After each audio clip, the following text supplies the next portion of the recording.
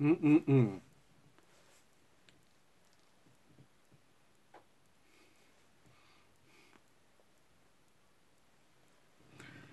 Hello, goblins. It's Chris, Eldritch Pipes. It's an episode of this week's Pipes. Hmm, Believe it or not. It's Friday again.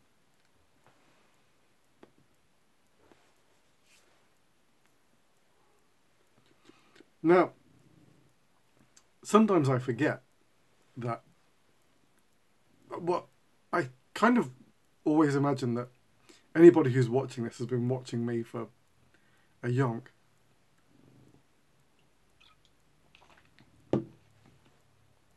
And I forget that sometimes we get new subscribers, viewers.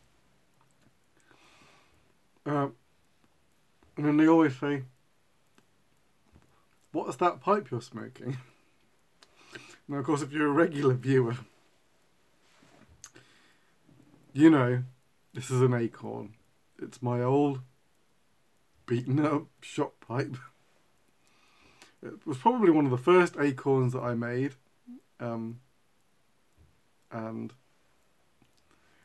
I treat it horrendously.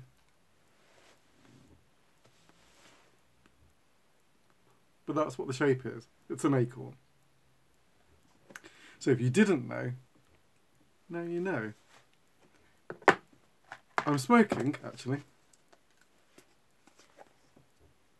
Some C&D exclusive. Gifted to me by that very kind Terry Davy. It's an excellent VaPer blend. I'm drinking some Corona.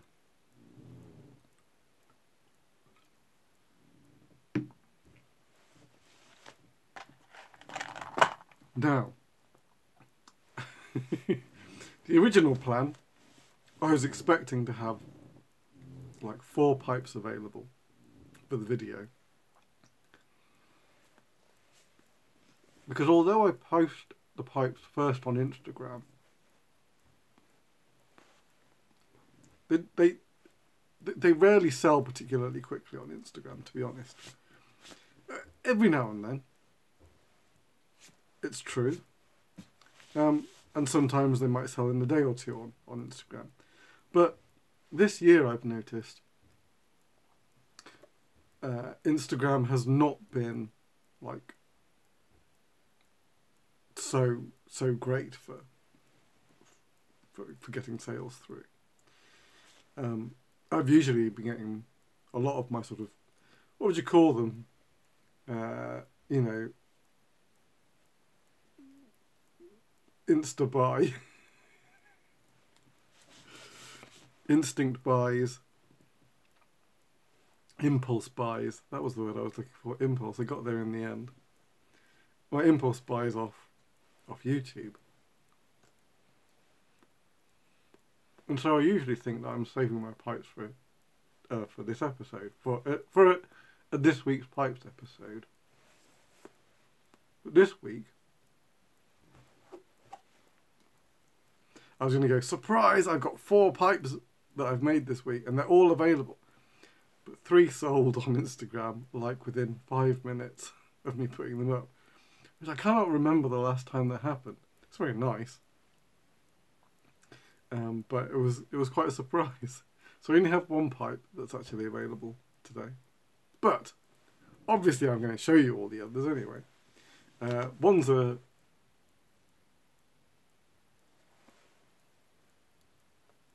so, so I've never made it before. It was just I had a block. I wanted to make a pipe with it. I wanted to make something that I'd not done before. And so I drew a shape on it and made it. And I like it. I was really hoping this is right, this is the thing about smooth pipes as well. At the beginning of the week I thought, oh it would be really nice if I could have one, if not two smooth pipes. I was looking at the sides of the briar and two of them looked absolutely spotless and I thought it could be and I cut the blocks out to shape and like they were still looking really good. And I rough shaped them and they were still looking really good. And I was thinking, oh my god, I'm to have two smooth pipes on my hands. And then, as I refined the shapes, it all fell apart. and they didn't make smooths at all. And that's life. That's life. You try your best to get a smooth, but it hardly ever works out. Hardly ever.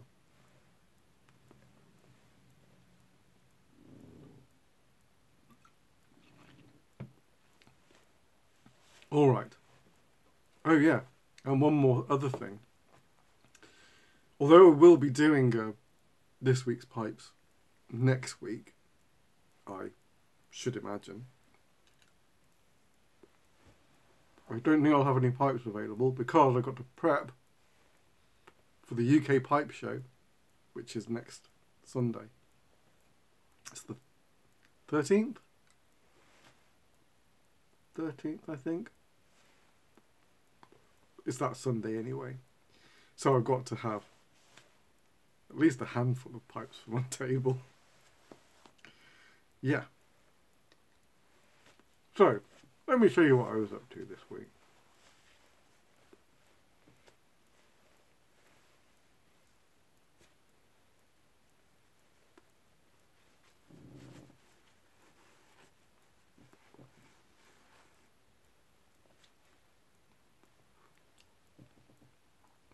A Guinness Prince. It's been a little while since I've um, emulated on the bowl, sort of emulated on the bowl, what what's going on in the stem. It's how the original Guinness Dublin looks. Uh, but in the past, I've kind of I've, I've gone for the bowl being just black on the print. I didn't think there was enough hype, but this time I thought I just want to give it a go, and sort of did it.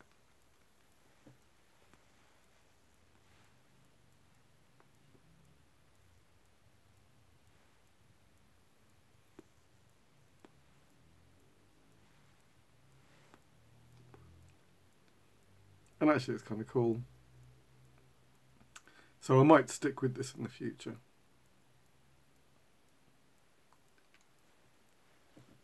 Just a medium blast. Some nice ring grain. Some nice straight grain. Just a really cool little pipe.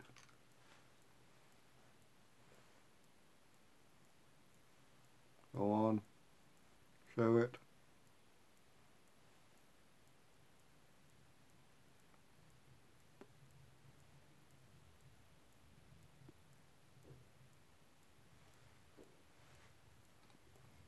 Can Guinness Prince.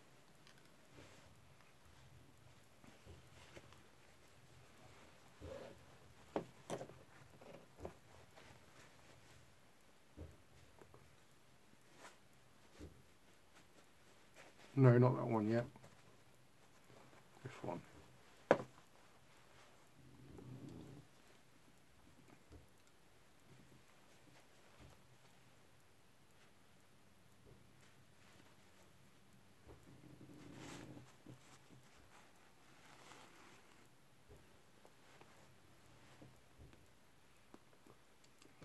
Another green and black print with the fingerprint rustication. I think I'm going with that one because it's easier to say or snappier to say than Stone Garden rustication. Fingerprint. Stone Garden. Fingerprint. I had a lot of fun making this one last week uh, and it went to a home so I thought I need to make another one.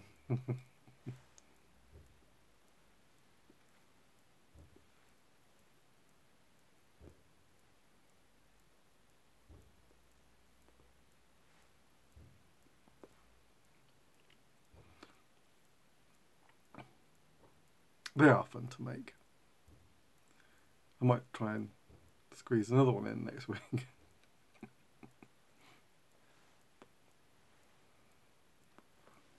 With the old Moss Cumberland. Really nice piece actually.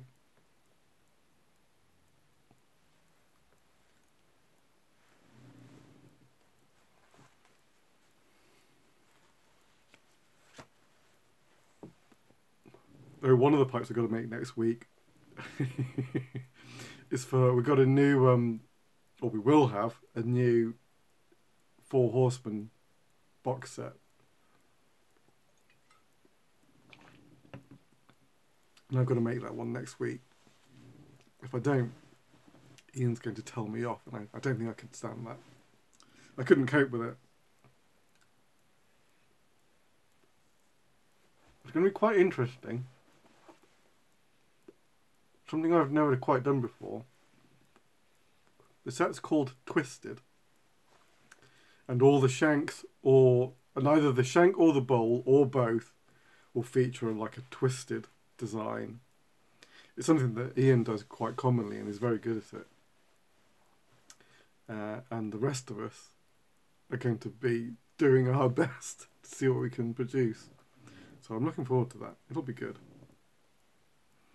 Uh, I've got to do the box as well. Can't forget. Must do box.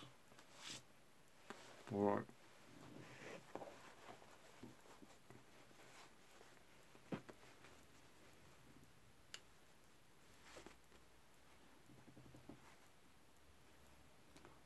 This is the one that I just drew on a block and made it.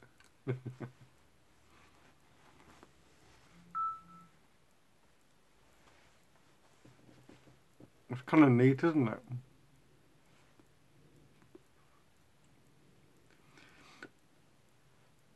I just had this kind of like idea in my brain, and then it, the block kind of like carried on down, and I was almost going to like take it off and have it like just curve up like there, but then I thought, actually no, coming down to a like a sitting point, it does sit. I don't know if I've got something it'll sit on.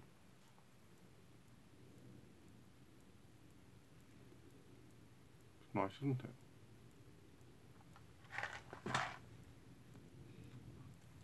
just kind of with this like long, slender stem.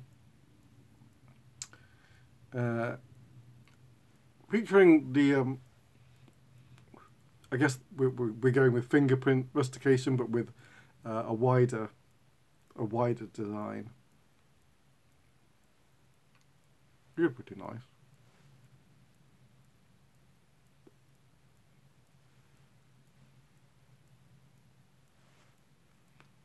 With some of my orange Cumberland. And I was thinking what to call it, I went to Steph and I went, what am I going to call this shape? Uh, and she was like playing with it, and then I had it like that, and we went, Wizard's hat.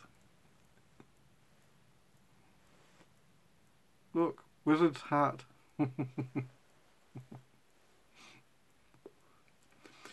so before I send this off, I've actually got to get a an outline of this shape so if I need to make it again I can do so.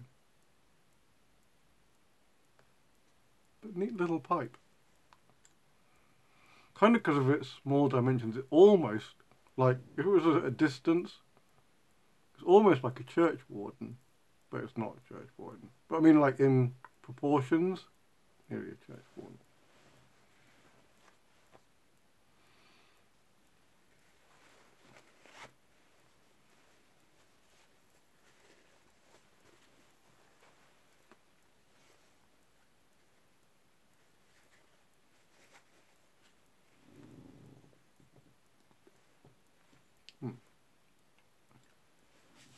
And then, finally, this is the one that's available.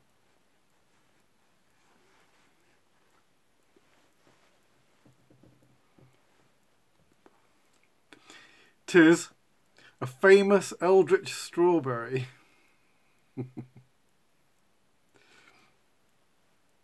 Lovely little sandblast on it.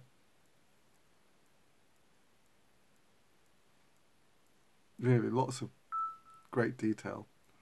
Where's my phone pinging away?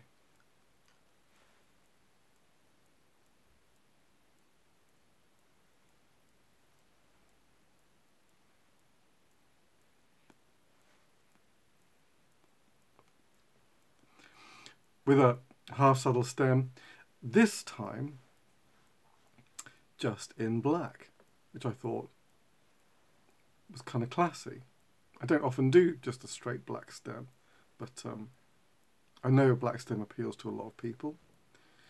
And uh, I do make black resin. This is my resin, it's just pure black version. And uh, Cordovan stain. Which is this lovely sort of deep red, red, red chocolate brown. Gorgeous stuff. I think Cordovan is is the most often used brown that I use. In fact, I can't remember the last time I used a different brown. Cordovan is my favourite. There you go. So, a strawberry. Just a simple strawberry in classic pipe colours. If you're interested in that fellow, just send me an email. Or contact me on the web via various means. Alright. That's it. That's this week's pipes.